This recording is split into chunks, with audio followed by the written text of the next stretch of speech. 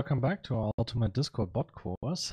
And I'm going to start changing a few things in this episode from the stuff that we have done in the last episode. Let's uh, quickly remove the user guesses list over here and there. Save this. And now our hangman game should work again. So let's quickly try this out. We know it is Discord, but let's say, okay, I have a D and a C. Okay, perfect. Now, uh, another issue that we didn't look into in the last episode, but I wanted to highlight it and stress it because we're also going to tackle this in this episode, is when another user in this case Aris. You can't see it on the screen right now, but if another user now also checks for, let's say, O, we can see, well, for Aris, the guesses are also A, D, C, and O. And that means that we both play on the same word right now that is not something that we want to do with Hangman. We have another game in mind where we learn about other stuff as well. But for Hangman, we really just want it to be an instance for only the for, for each user, right? So we don't want to play with multiple multiple people on the same Hangman game. And we mentioned that we're gonna move over to a more model view controller uh, structure for hangman. And that's what we're to do now. Let's start by creating a new module and let's call it hangman. Now we also need the init py. Quickly close that and we're going to create our model file. Now in here, we're gonna simply create a class and call that hangman.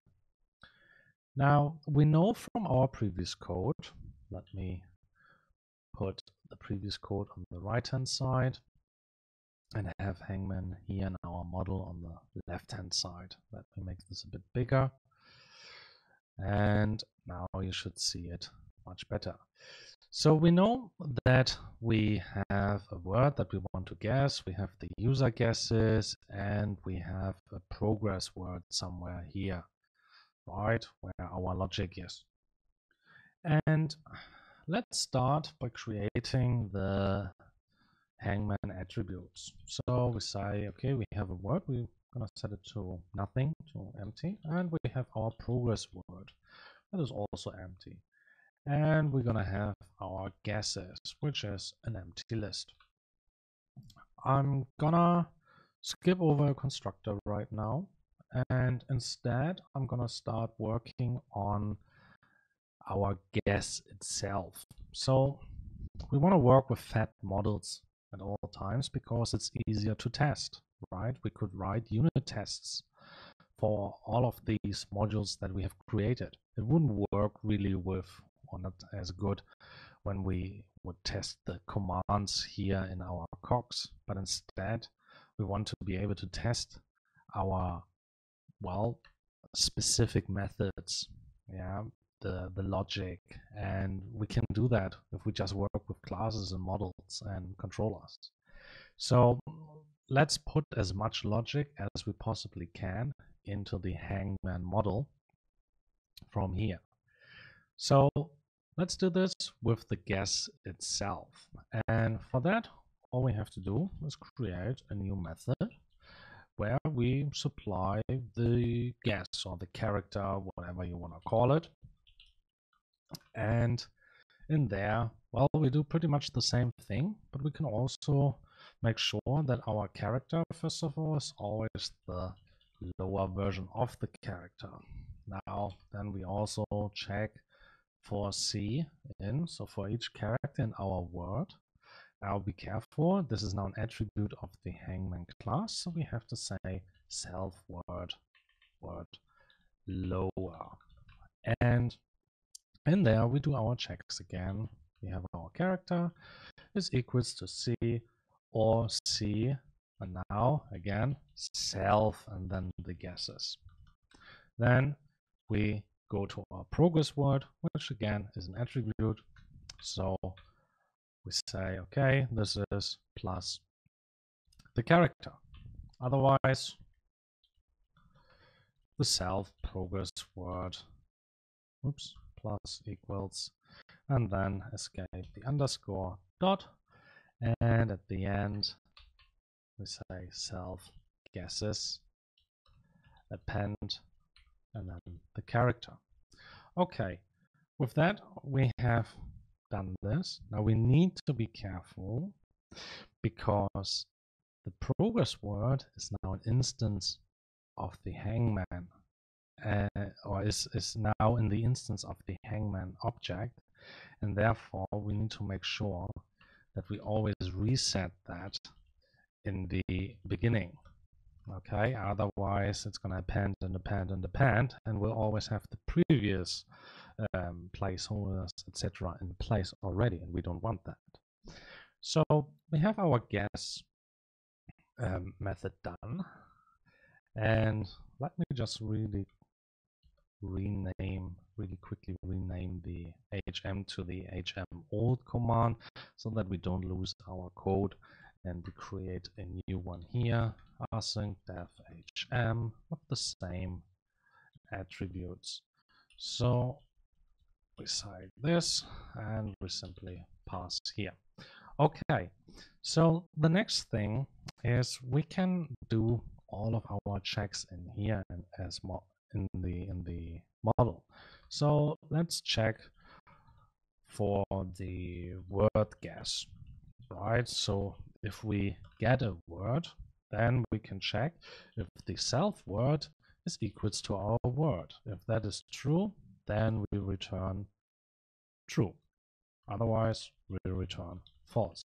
And we could write this much simpler but we are gonna keep it a bit more um, readable. And we do some more checks. We can say check how many guesses are left right? So check guesses left. And for that we well we can create our help uh, ourselves another helper functions. Because at the end we just check for the length of the guesses but maybe we want to be a bit more well well maybe we want to have it a bit more complex later on so let's just create another functions and see get a number of guesses left. So and here we simply return for now just the length of the self guesses. So we can now check here if the self get number of guesses left is above um, well above what? Well we could say another uh, maximum guesses right? So let's let's create another attribute and call it the max guesses that we allow. Um, for simplicity, we could also say uh, this is the length of self word or it's 10. Okay, so if it's the check guesses left, if it is uh, equal or over to our self max guesses, then we don't have any guesses left. Otherwise, we return the number of guesses um, now the max guesses obviously minus the number of guesses right? These ones. Um, let's actually rename this because that makes a bit more sense then and it's not so confusing. Okay and now we do one more big um, method and we say is game over. So in there, we simply define our game over is false, the game is still running, and because of that, the user hasn't won. So what we can check now is if the self um, guesses left is above zero, then, well, nothing would change. So let's say if it's equal to zero, then game over is true. However, that doesn't mean that the user has actually won. But instead, we can say the user has won if the check word guess returns true when we supply our progress word. So let's do that. And if we then have one, we know that game over is also true. Okay. Lastly, we want to return whether the game is over or not and whether we have won. Okay, so with this we have quite a few methods available to us to play around with. So let's go back to our games py or the games cog and we're gonna import now our hangman module model. So from hangman model import hangman. Very easy. Now what we don't need are these things anymore. However, we still refer back to them. So I'm going to keep them in for a little bit longer. But instead, we also want to make sure that, well, several users can play at the same time independently on their own games. So for that, I'm going to create a hangman, well, games object. And the idea is to save each game of Hangman for each user.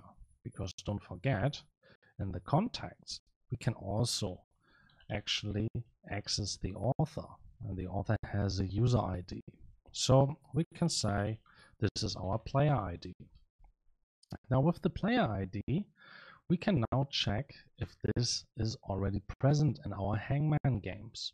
So I simply check if player ID in the keys of our Hangman games. If that is the case, we can set our current game to the Hangman games and then the player ID. Now, if the game is not present in the existing Hangman games, then we say, okay, we're gonna create a new game of Hangman. And we're gonna set the word to well we could use a random word right now but we keep it simple and also say discord again here and lastly we add the game to our player id so for those of you who have already checked it this obviously has some faults in it and it's not going to work perfectly but we're going to take care of those things in the other episode. We have to improve step by step and challenge uh, the problems here one at a time. Okay, now the first thing that we checked here was to see if the game is actually over.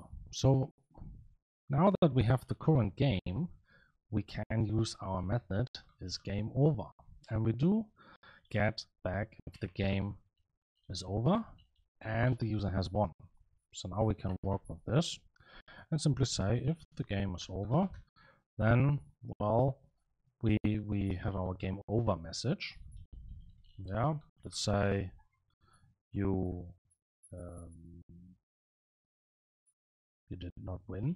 Yeah, let's say this is our default. And if the user has actually won, then the game over message is actually, well, congratulations, congrats, you won. Okay, and lastly, we also want to append the word that the um, user had to guess. So we say our final game over message yeah, is equals to the game over message plus uh, the word was and then a placeholder and simply put the current game word in there. Okay. So far, so good. Now, lastly, we have to send it out. So I'm quickly to copy this and simply provide our game over message in here. And we return. Let me make this bigger. In fact, we can close the model for now. And we have a good overview. So, the next thing is the game is not over. Now, if the game is not over, well, we have to guess our character. But before we do that, let's take care of the stuff that we do down here because we want to show the progress and we want to show the user guesses and then we want to send out the two messages where we show the progress and the guesses so far. We can actually copy this and put this in here. Now we do have the user guesses in our current game. So let's say current game and we can access the guesses. So this makes these two lines working and we can also change the progress game, uh, the progress word quickly by saying current game and then the progress word. Okay. Now, the next thing is the actual guess. And with that, if you remember, we had our guess method. So let's call this and we supply Oh, our guess. Okay, so what happens? In the guess method, we, oops, not the RPS, but the hangman. So if we look at our model and we go back to our guess method, we see it checks and puts everything into our guesses. However, we are not taking care whether the word is actually the same.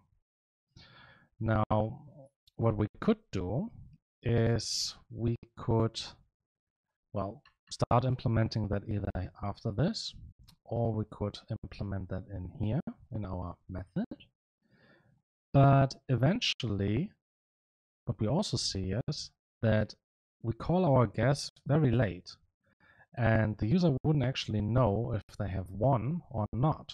We're not really telling that in this case because the game is still running, but after this guess, the game might be over. So everything that we have done here, we would need to do in here again. Okay, that's a bit of a dilemma because first of all, we don't want to copy paste code and now we start introducing a lot more logic again into our hangman command here, right? With the with the check of the instance for the game, where there are still problems actually because this we have to call pretty late. And we don't really want all of this. So if you remembered, for the RPS, we also had a controller. And that's what we're going to work on next.